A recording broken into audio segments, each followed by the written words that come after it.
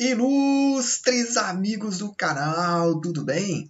Hoje é o dia D e nove da noite é a hora H do Bitcoin. Este é o seu canal Vinivest, o canal que te ensina ou te traz informações para você economizar e investir melhor os seus recursos. Na semana passada eu falava então sobre esse momento do Bitcoin. E aqui você tem então a retração de Fibonacci, indicando aqui a retração a 0,38, essa linha verde bem clarinha, que é onde está batendo hoje o preço do Bitcoin. Hoje é dia 20 de janeiro, estamos aqui a meio-dia e 23. Veja que ele está buscando exatamente esse ponto. E se isso aqui acontecer, ele vai furar para baixo o nosso triângulo que foi traçado. Por isso, hoje é o grande dia. Mas antes de fazer uma análise mais aprofundada do Bitcoin, eu queria te convidar. Inscreva-se aí no canal, clique sobre aquele nosso sininho de notificação para você receber todos os nossos vídeos. E já aproveita e dá aquele like porque o vídeo vai começar. Antes de falar do Bitcoin, quero te trazer agora a matéria que saiu no dia de hoje aqui na Econometria. Investidores institucionais estão entrando no mercado Bitcoin. Dada a quantidade de dinheiro que eles podem trazer para o espaço, provavelmente vale a pena considerar, porque eles podem querer incluir Bitcoin em seu portfólio. Meus amigos, eu venho aqui há pelo menos três meses falando a respeito da entrada de investidores institucionais no Bitcoin. E esse movimento parece estar chegando ainda numa fase inicial. Ainda não temos grandes instituições, principalmente brasileiras, anunciando isso. Isso significa que quando for feito o anúncio, é porque eles já entraram há muito tempo. Esse é um excelente indicativo de médio e longo prazo de exposição ao Bitcoin. Não estou te indicando, estou te trazendo informações para que você conheça um pouco mais. Essa matéria traz uma justificativa, uma possível justificativa para a entrada dos institucionais, que seria o chamado rendimento real. E o que a matéria chama de rendimento real seria o rendimento num título do Tesouro americano, o Treasury, descontada então a taxa de inflação. E é por isso que as pessoas estão procurando novos ativos, e aí não somente o Bitcoin.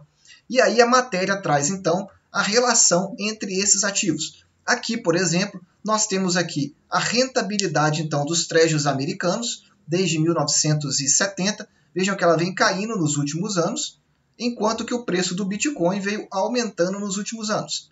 Aqui, muito relacionado também, principalmente nos últimos anos, é a injeção monetária que foi feita que impulsionou o Bitcoin.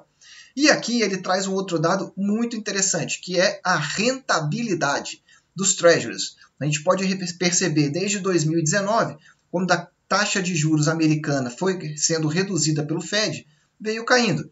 E hoje nós estamos aqui próximas então a meio por cento, enquanto que o retorno do Bitcoin, o preço do Bitcoin, foi só o preço do ouro, perdão, foi somente subindo, até que o ouro agora está numa fase de consolidação. Enquanto que o Bitcoin, vocês já estão acompanhando a disparada que deu, aqui ainda está desatualizado, que nós estamos acima de 30 mil reais. Então, esse é um grande indicativo desse site Econometrics para que você entenda o que, que pode acontecer. E ele ainda complementa: Janet Yellen vai ter mais estímulos.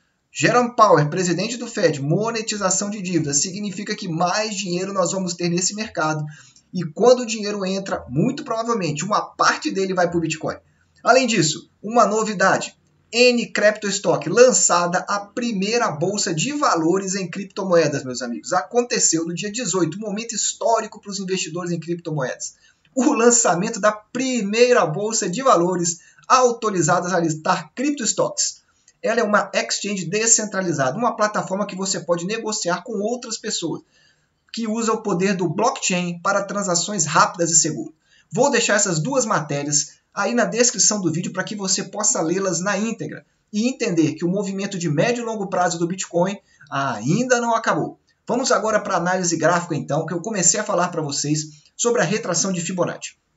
Veja, aqui eu coloco duas médias, a primeira média de 21 períodos em vermelha, a segunda média em azul de 9. Veja que a média de 9 períodos, o Bitcoin na data de hoje está encostando na média de 9 períodos, enquanto que a média de 21 períodos já virou para baixo, já está levemente apontando para baixo.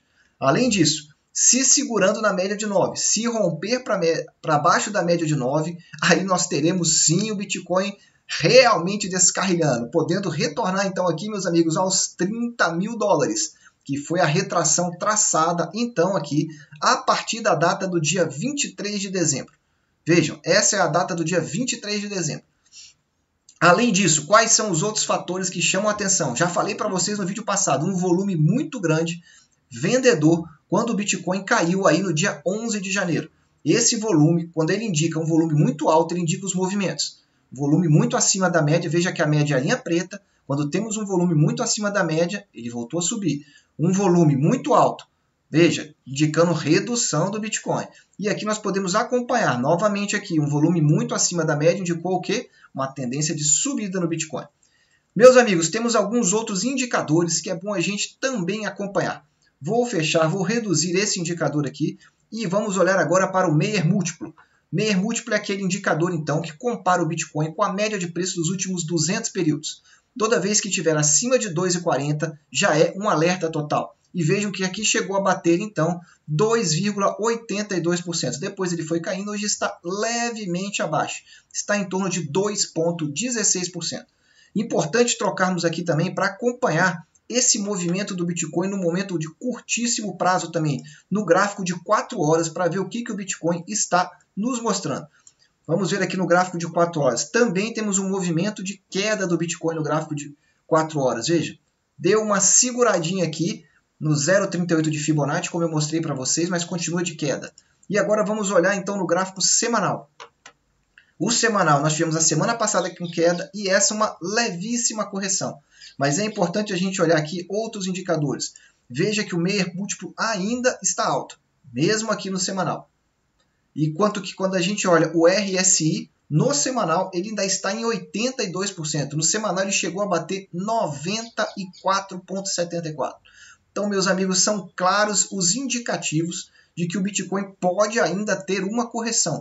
Fique atento a esses movimentos e isso deve acontecer nesses dias de hoje. Talvez hoje seja o dia D. E se nós formos olhar aqui também para o Ethereum, para que nós tenhamos uma noção de como que pode acontecer esse movimento, vejam que o Ethereum indicou que ia ter um rompimento para cima nessa barra que nós estamos vendo do dia 19, ele indicou um crescimento aqui de 8,72. Rompeu o triângulo de forma ascendente. Veio testar os dois topos históricos testou e recuou. No dia de hoje, então, ele já está recuando 5,45. Podemos ter aqui o famoso bull trap. Ele indica que vai, mas não vai, pode acabar voltando. Este é um outro alerta muito importante para poder ser acompanhado aqui nesse dia de hoje. O Ethereum também está recuando. O que o Bitcoin fizer, muito provavelmente as outras moedas farão a não ser que o Bitcoin fique lateralizado. E aqui você pode verificar as principais moedas todas estão caindo. Uma ou outra moeda, como por exemplo o Decred, está subindo. As demais estão caindo, ou então estão lateralizando.